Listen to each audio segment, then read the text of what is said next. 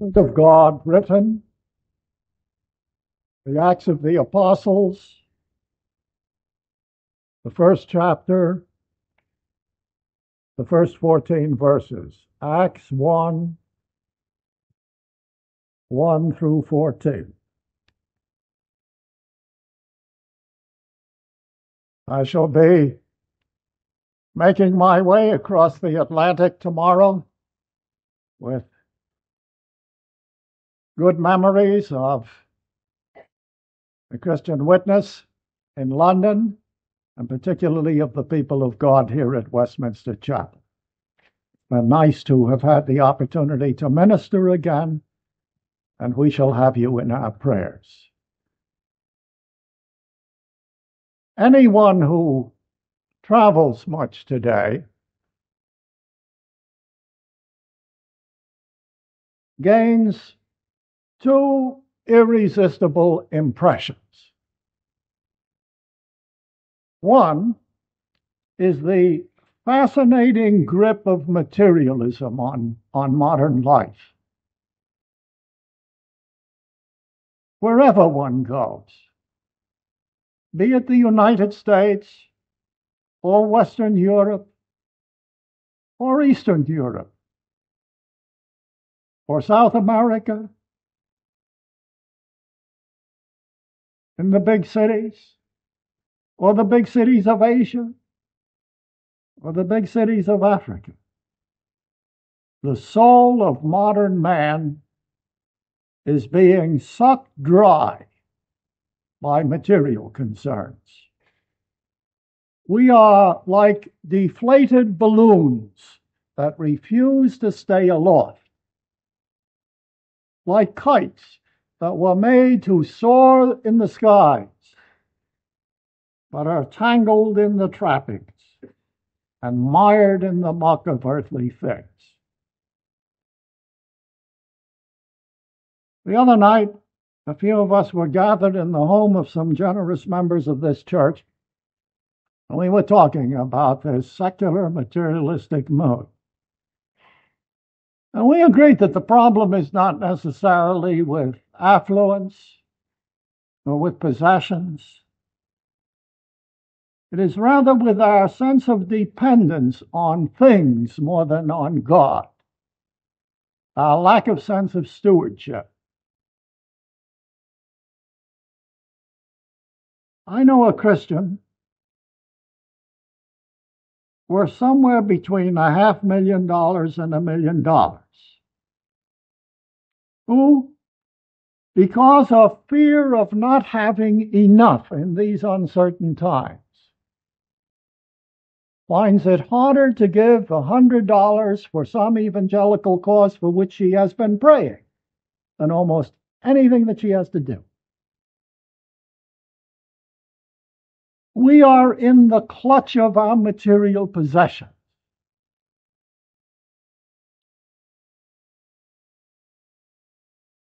They wring our spirits dry.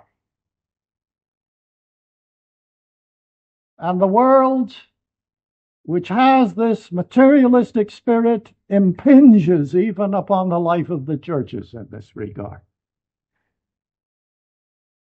The world communicates her ailments to the churches, her afflictions.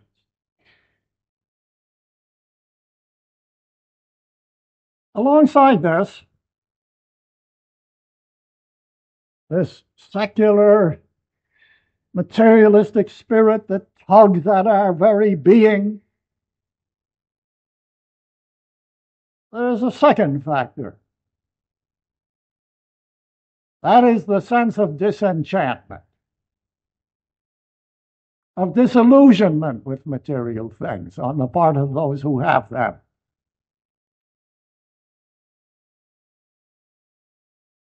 People know that an abundance of things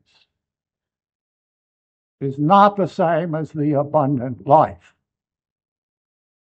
And there is a restless probing of the transcendent world, the invisible world, the spiritual world. and it takes many, many forms. There is the interest in Oriental religion. People know something about the moral claim that Christianity makes. They can escape from this, perhaps, and find some alternative that speaks of the invisible world. The interest in the occult, in transcendental meditation, in Zen, which have largely become passing fads already on the American scene. The interest even in spiritualism and in the demonic. And also a new interest on the part of some in what makes Christianity go. Why is it that this religion of 2,000 years and which claims behind it the religion of the Hebrews, which extends all the way back to the beginnings of mankind, is here. That hundreds of people come out, for example, the Westminster Chapel, even on a Sunday night. And people come in from the cold, wondering what makes the churches click. And this curiosity, there may be a lot of curiosity and confusion about miracles and tongues and healings and revelation. People come out from the, the spirit, come in from the spiritual cold. What is there that's inside? I was talking a year ago with a professor at one of the New York universities. And he was sharing his own story of how he was brought up, actually, and uh, in a, a, supposedly Christian home, at least formally so. His his father was a, a clergyman and uh, knew only a formal Protestant uh, commitment. The realities were not there. As a teenager, this lad let it all go, and he married his wife, too, was a professional woman. He teaching at one of the large New York universities, and he said, One night we were just talking and we decided that our lives were empty. And the following Sunday, we, we went to church just to see what there was, if it was anything like it used to be. And he said, I found Christ and then my wife found Christ. People just come in from the cold like that, wondering what there is. And if the church is going to count for much, amid this confusion and this uncertainty and this longing, she will need the truth and the joy and all these spiritual realities that the early Christians had in an environment that was almost totally contrary and largely hostile. She will need the lost radiance that seems to have gone from much of contemporary Christianity. The evangelical churches have indeed the Easter glow. But what the early Christians seem to have had was not simply the Easter glow, but what I might call the post Easter afterglow. The post Easter afterglow. An ongoing radiance that was nurtured by a reality beyond Easter morning. Tonight, I'd like to, to visit them with you and learn something about the ground of that radiance because from much of modern Christianity, the luster is gone. It seems to have grown dull and dim. And I want you to see tonight something of the reality of the crowned Christ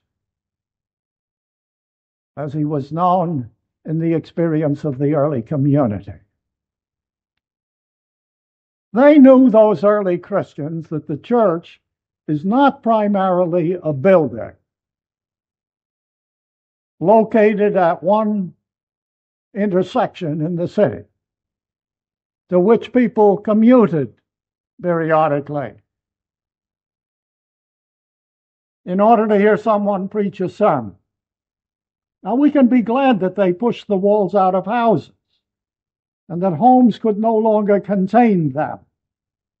But one thing they knew that the Church of Jesus Christ is primarily a fellowship of persons, a company of twice born men and women.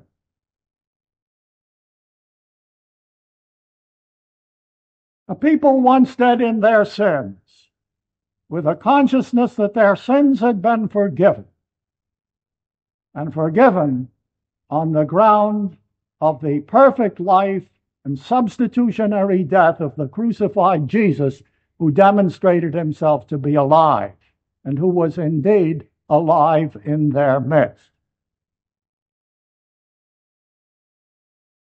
I am he that liveth and was dead. The church knew and recognized that voice. Those Christians knew that the church was called into existence by the crucified and risen Christ. They knew him as risen. Stunned by his, stunned by his crucifixion. Stunned by his crucifixion. They were shocked alive. They were stabbed awake by his resurrection from the dead. He who said, It is finished, said, Handle me and see that it is I myself. And he who gave up the Spirit on Golgotha breathed the Holy Spirit upon them. They knew him as risen. And they knew that the risen Jesus was calling his church into being. And the most exciting aspect of their gathering together as we gather at night was not simply that they would see each other as people who had somehow been wrested out of the world and brought into the realities of grace by the Spirit of God dramatic as that was, as now one and another who belonged to the to the to the evil one and was out there in the world had been translated into the kingdom of light and found Jesus Christ real. Dramatic as that was, the more important thing for them was that the risen Jesus was present in their midst as they met together.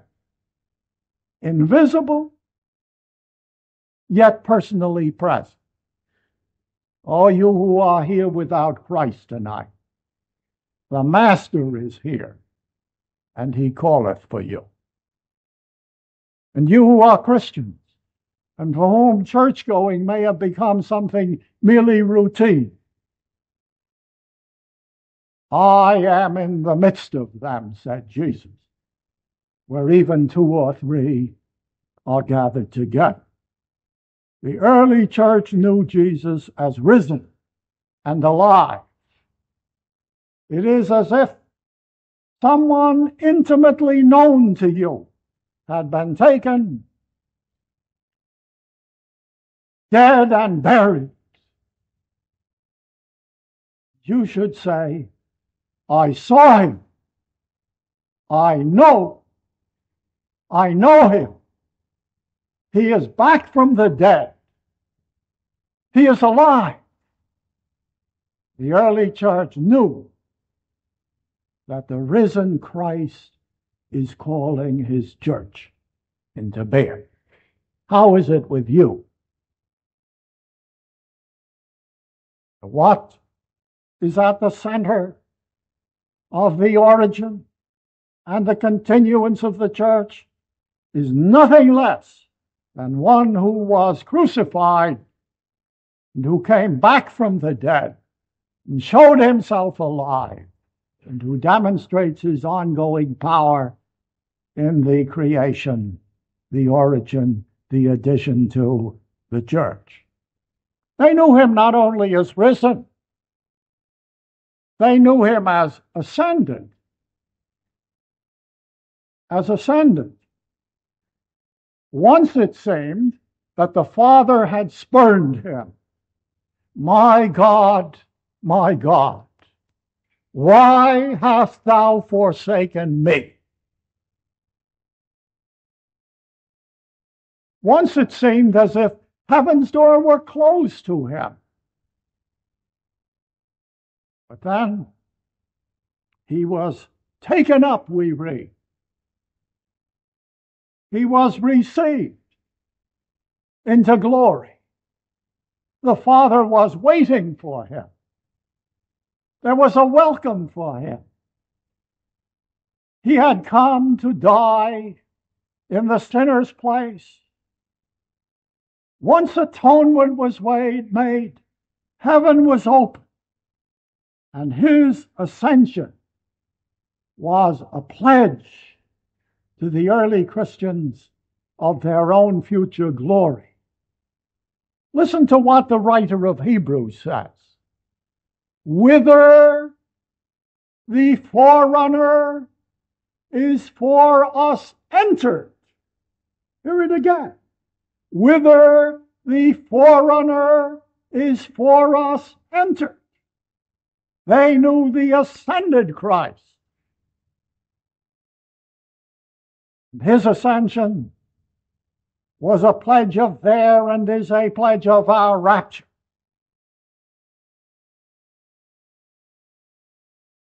has the thrill of it, has the joy of it, has the drama of it broken in your own Christian experience as it did for those early followers of Jesus Christ? Has it impinged upon your life as it did upon theirs? Because the ascension of Jesus changed their whole praise. For it was now praise to the ascended Lord it changed their whole witness. It changed their whole preaching. It changed their whole life and mission. What does it do for you? Indeed, they knew him not only as risen, not only as ascended, they knew him as exalted. Exalted. As, the, as Paul wrote to the Ephesians, he sat down at the Father's right hand. Listen to these words from Ephesians 1, beginning at the 19th verse, where Paul writes of the immeasurable greatness of his power in us who believe, according to the working of his great might, which he accomplished in Christ when he raised him from the dead and made him to sit at his right hand in the heavenly places, far above all rule and authority and power and dominion, and above every name that is named, not only in this age, but also in that which is to come. And he has put all things under his feet, and has made him the head over all things for the church, which is his body, the fullness of him who filleth all in all.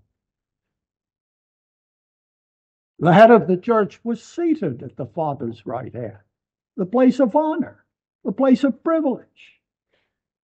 They knew not only Jesus of the Christmas season, Jesus of the Bethlehem manger, they knew Christ on the throne. They knew not only the Jesus of the Sermon on the Mount with his magnificent teacher, they knew Christ on the throne. They not knew not only the Jesus of Gethsemane,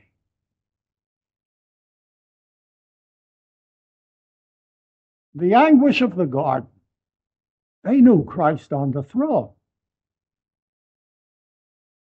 They knew not only the Jesus of Golgotha, where he died for us, the just for the unjust, to bring us to God.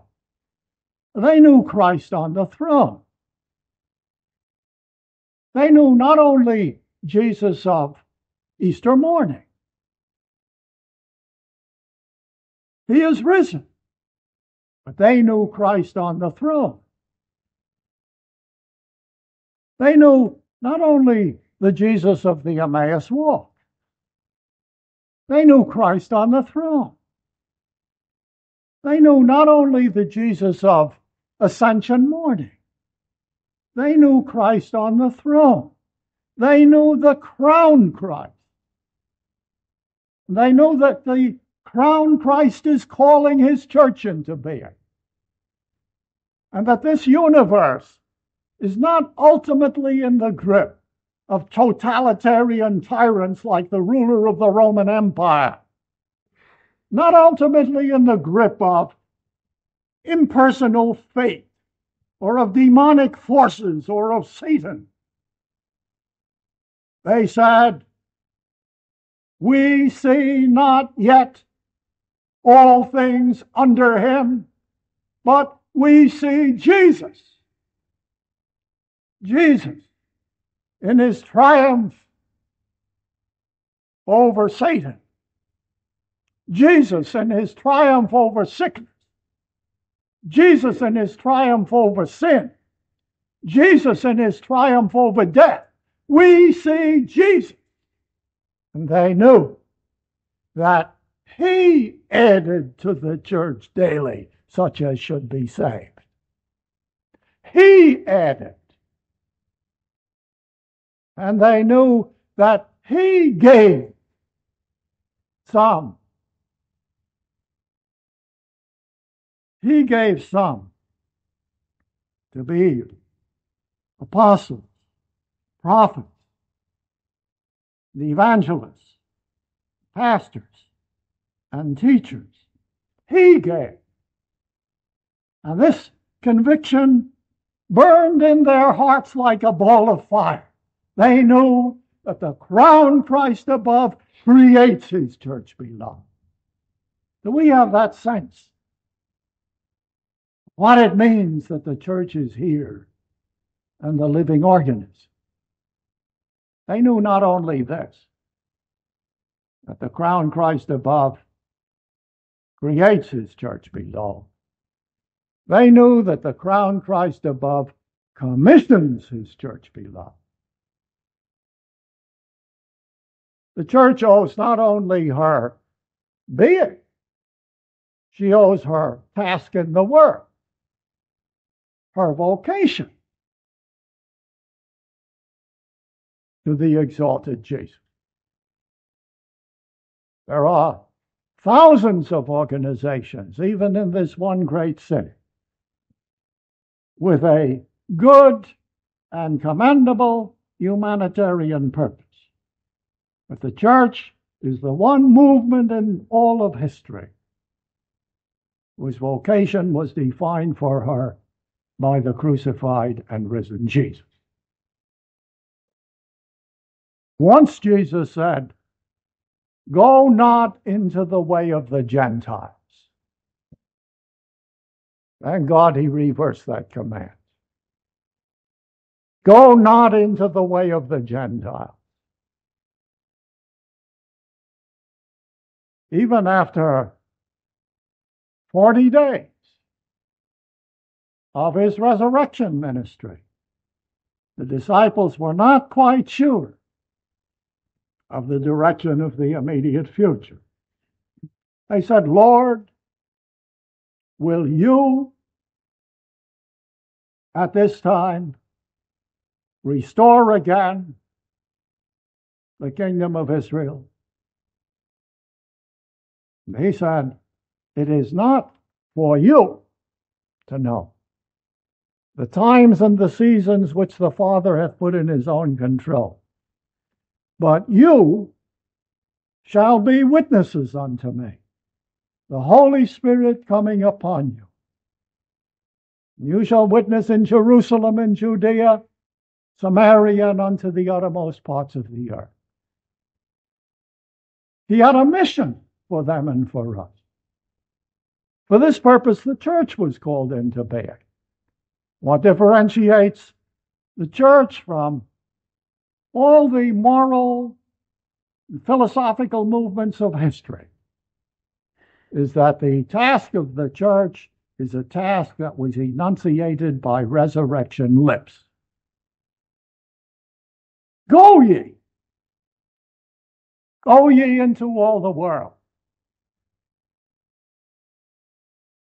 Westcott in his great commentary on John's Gospel says something about Jesus incorporating the believers into the redemption covenant of the Godhead. That sounds rather difficult to get hold of, and I want to unpack it for you. He, he speaks of the church being incorporated into the resurrection, into the redemption covenant of the Godhead. What Jesus said, as the Father hath sent me into the world, even so send I you. What a tragedy if he had not come. What a tragedy if we did not go.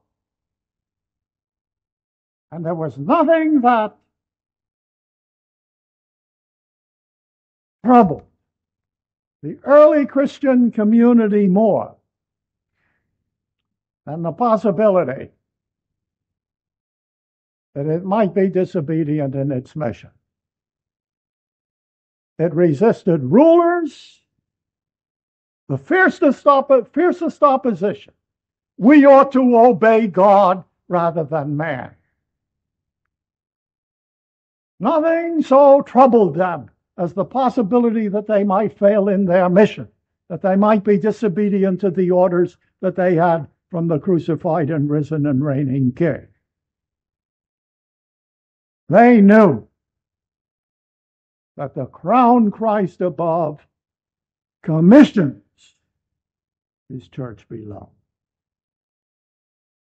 Now they knew one other thing. They knew not only that the crown Christ above creates his church below, and that the crown Christ above commissions his church below, but they knew also that the crown Christ above confirms his church below. He confirms his church below. He was active in the midst of the life of the church. They knew that they had been lifted to new levels of personal relationships through Jesus, to new levels of personal power through Jesus, and to new levels of personal virtue through Jesus.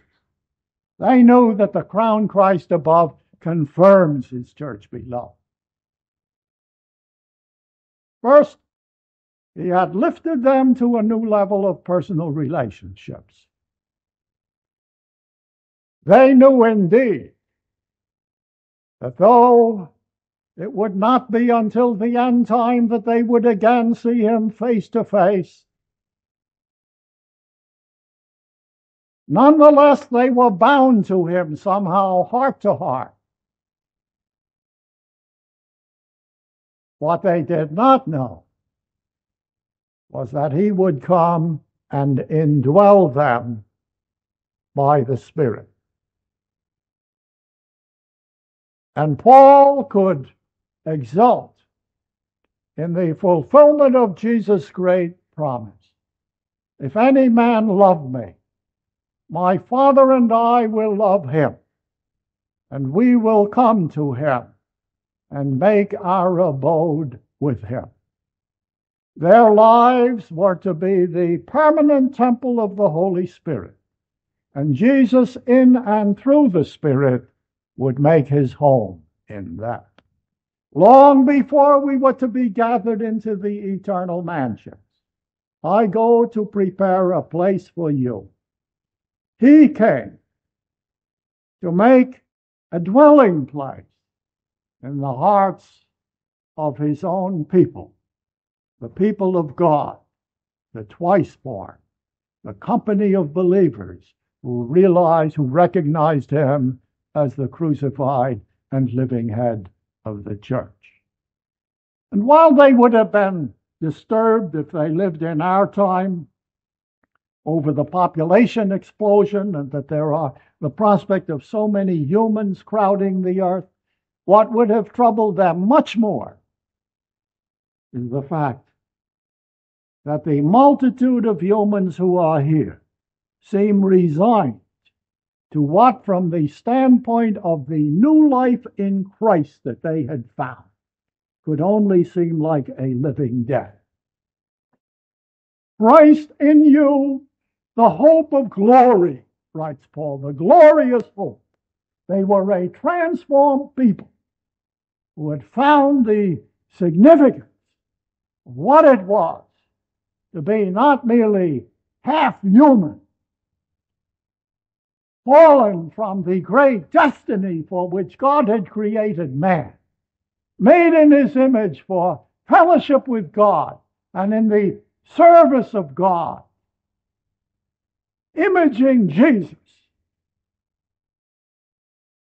Them, the great tragedy would have seemed a world somehow insistently deprived itself of the privileges, the glorious realities that were possible in the personal relationships that had been offered through the grace of Jesus Christ. They knew that they had been lifted to a new dimension of personal relationships.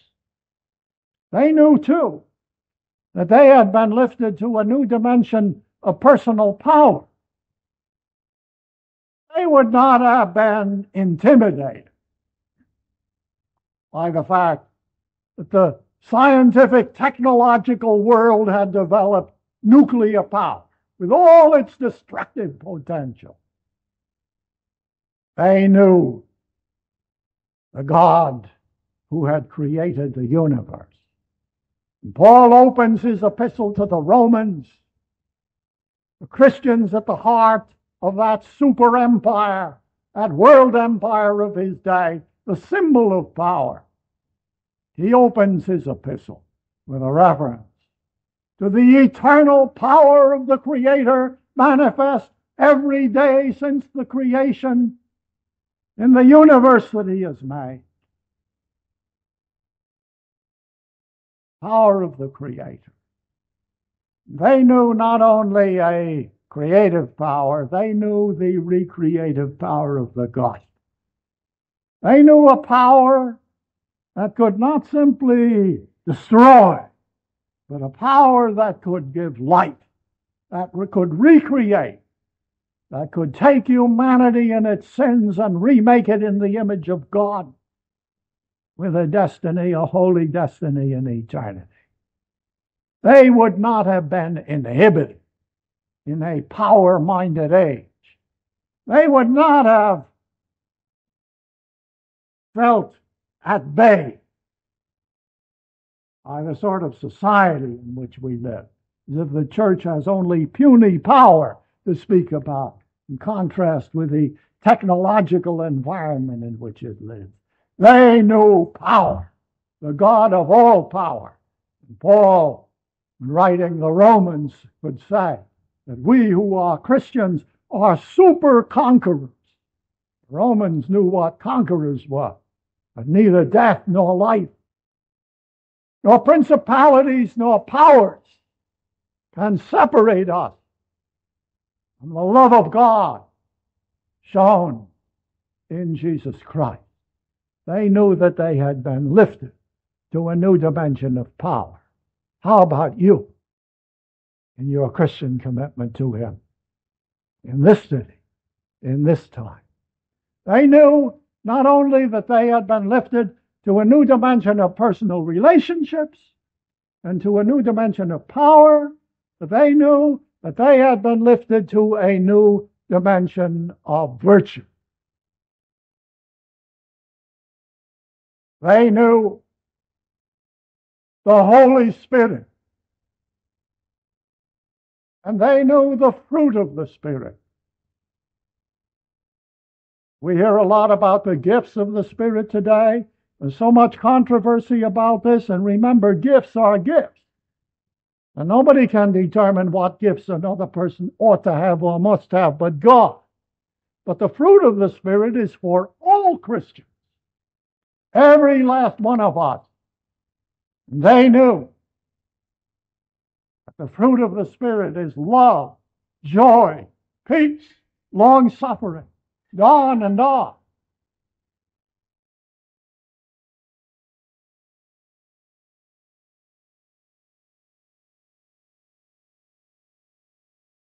One reads the book of Acts after the story of the ascension in the beginning of the Christian witness in Samaria, and finally unto the uttermost parts. It ends up at Rome. Time and again, it is clear that all their moral power, those early Christians, was found in and through the work of the Holy Spirit in them. They were filled with the Holy Spirit and with power. They were filled with the Holy Spirit and with boldness. They were filled with the Holy Spirit and with wisdom. They were filled with the Holy Spirit and with peace. They were filled with the Holy Spirit and with joy. They knew that they had been lifted. Sinners defeated once they were, they knew that they had been lifted to a new dimension of power. They knew that the crown Christ above creates his church below. That the crown Christ above commissions his church below. And that the crown Christ above confirms his church below. And if we find this for ourselves,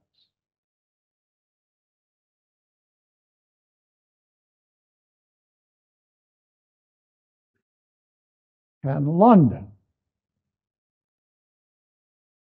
ever be the same?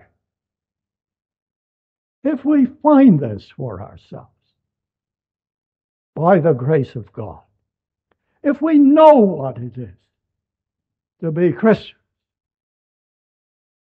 In a day when materialistic affluence so much impinges upon us, and when there is so much restlessness and disenchantment with things,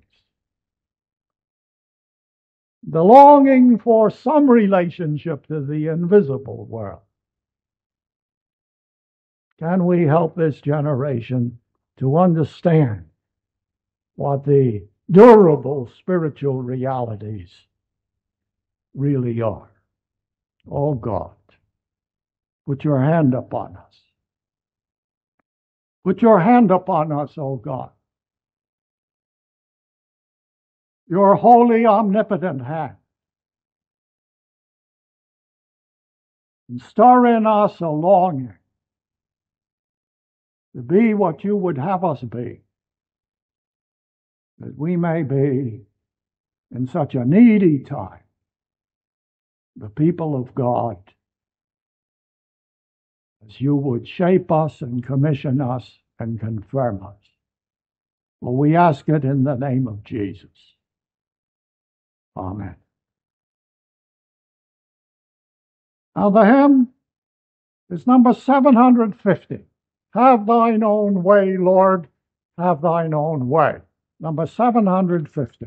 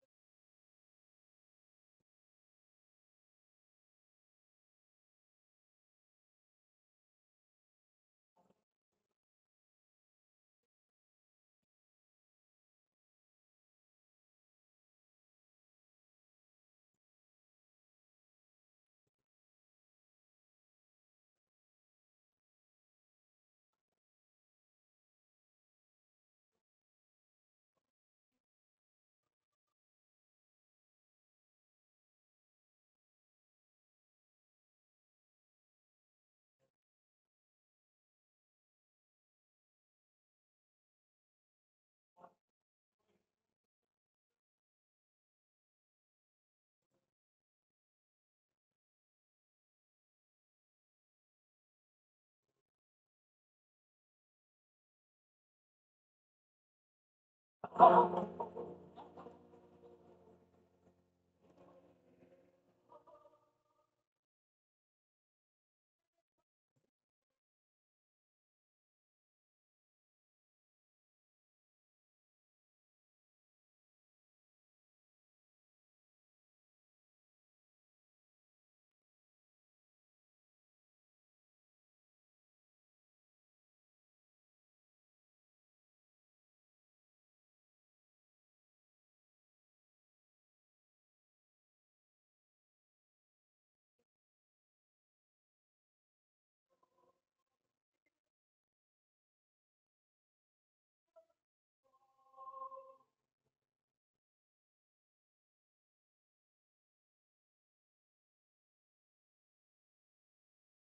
Now may a dying Savior's love and a risen Savior's power and an ascended Savior's prayer and a coming Savior's glory be the comfort and joy of all who have been reconciled to God by the blood of Jesus Christ, God's Son. Amen.